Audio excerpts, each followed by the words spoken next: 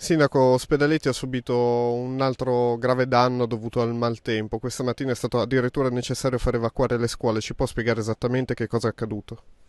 Niente, nella notte evidentemente noi non ce ne eravamo accorti perché non c'era nessuno, eh, essendo sabato e domenica le scuole erano vuote, poi stamattina arrivando il, eh, il responsabile si è reso conto che eh, c'era un movimento, era franato una parte del muro eh, dell'ala sud della scuola.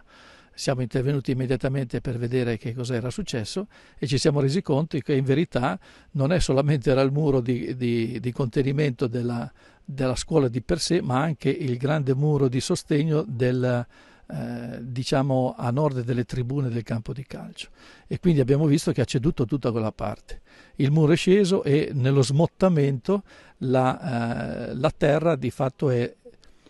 si è tolta al di sotto della, delle fondazioni, quindi sono rimaste appese le fondazioni dell'ala sud della scuola e quindi è stato necessario evacuare perché eh, presentava già alcune crepe all'interno stesso della, eh, di quella che viene chiamata la serra, insomma.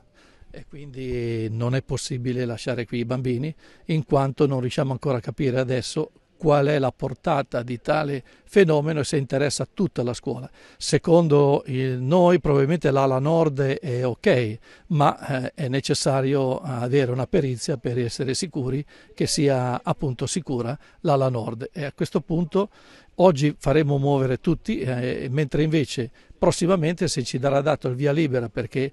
eh, riteniamo che sia sicura l'ala nord, i bambini potranno ritornare una parte di essi e l'altra parte invece verranno comunque eh, evacuati perché non è possibile utilizzare tutto il plesso scolastico.